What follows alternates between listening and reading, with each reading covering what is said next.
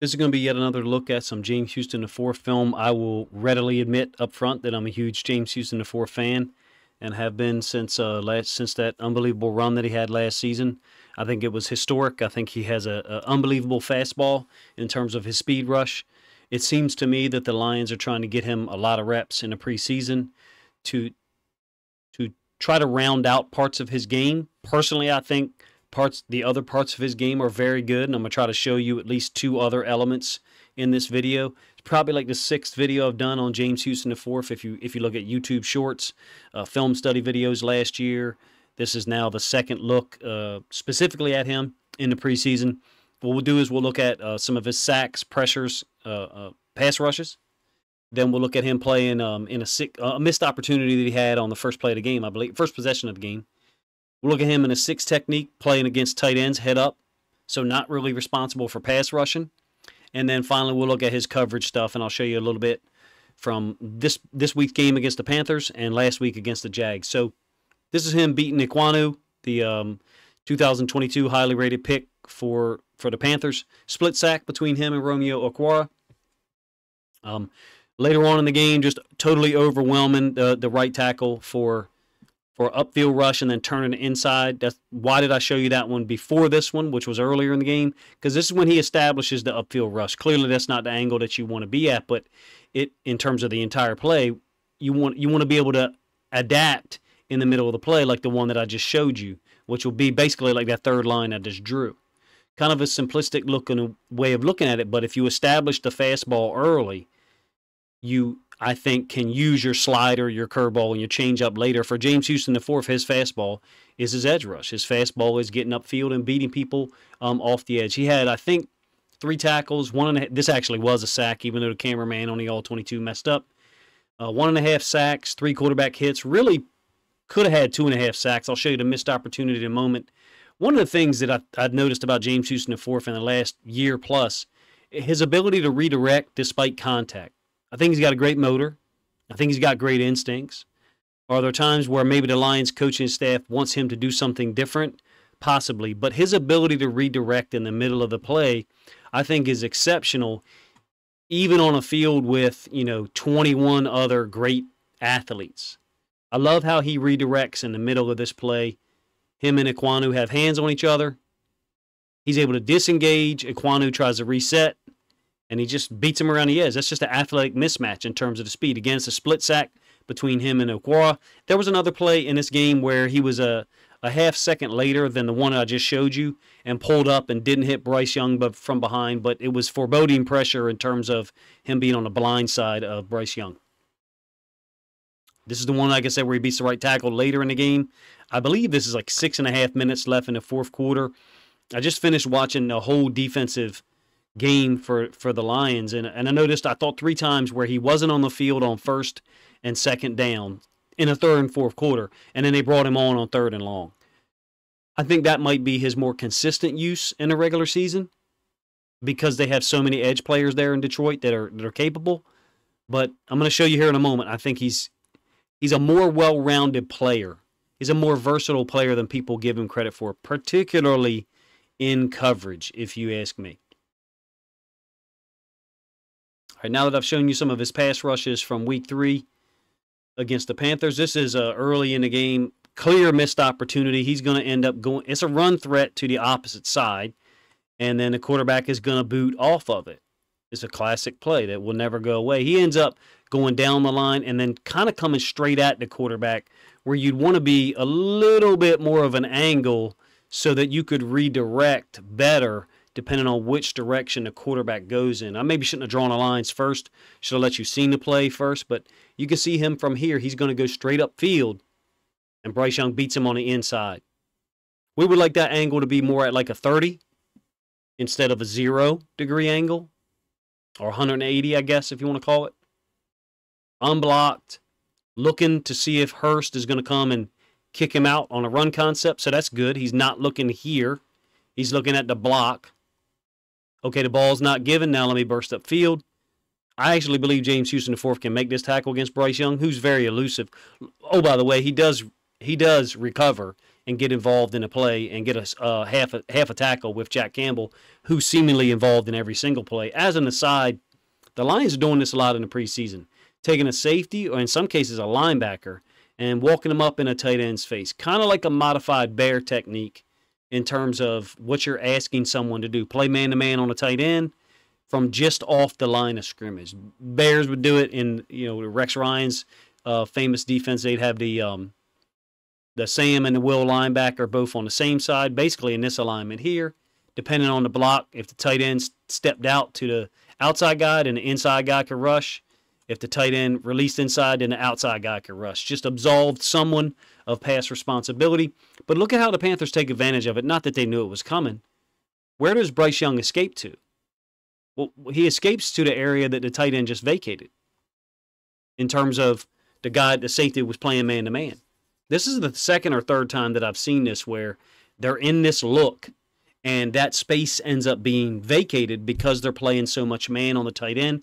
I don't pretend to know how much man they played like that last year in that specific alignment, but this year I've seen it come back to haunt them a couple times. All right, a couple examples of a six technique. I'm intentionally not giving you the end zone angle, uh, just so you know, but um, six technique like head up on a tight end, maybe a seven, which is inside shade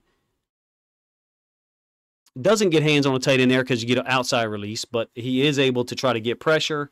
And what it does is it kind of clears up the read for the uh, the safety who's sitting right over the top. So I'm talking about this safety here who would theoretically be playing man on a tight end, which I, I think in most cases will be, but they kind of zone this off.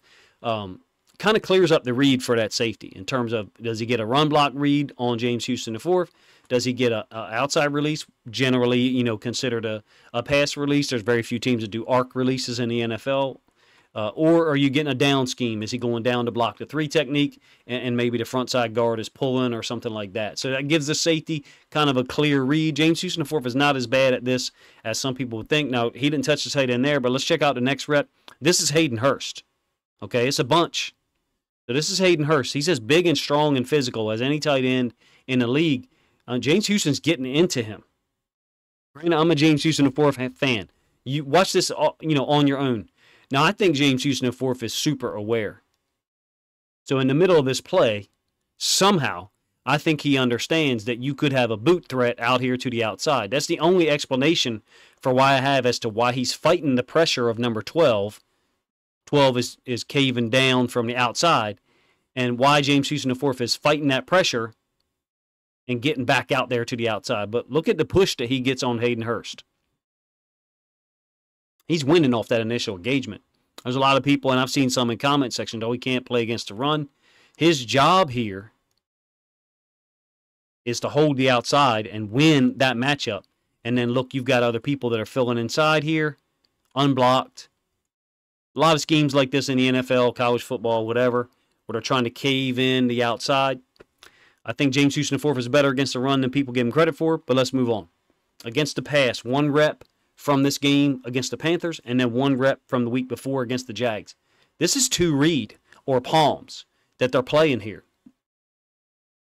And James Houston fourth is basically doing what the inside linebacker would do in two read or palms, whatever system you know the, the Lions use.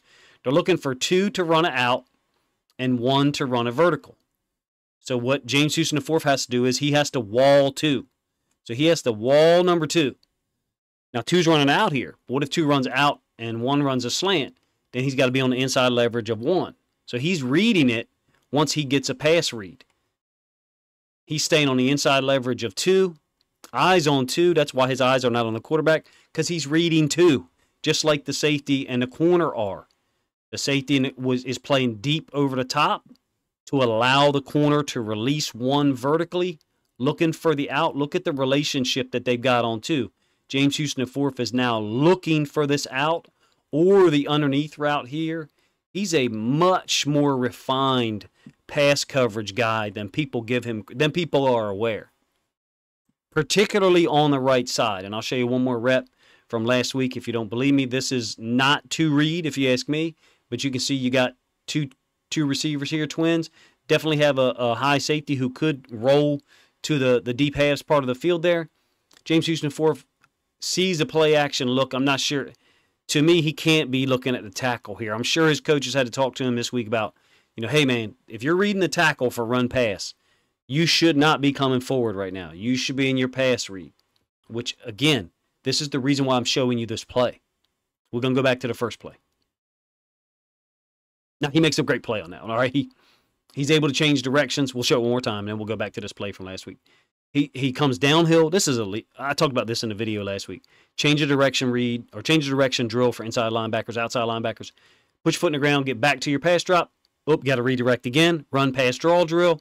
Come downhill, make the tackle, or recover the fumble or whatever the situation is. Getting back to that read on the tackle. Look where his eyes are. Okay, he could be looking at the tackle. If you believe Coach DC, he could be looking in the backfield. Look at the pass set. What's he doing compared to last week? Last now there's no there's no run threat here, but he's already gone in terms of a mesh. There's no mesh happening there with the quarterback and the running back, but he's already gone. He's already putting his foot in the ground, boom, getting out in his pass drop. Next thing, get my eyes on two.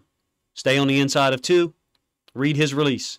Boom, two makes that out cut. Now let me look to either jump it if he throws the out, or let me come downhill if he throws it late to somebody underneath. He's improved from week to week here. And he's got the agility and the tackling ability to make these plays out in space. Like I said at the beginning of the video, I'll be up front. I'm a huge James Houston IV fan.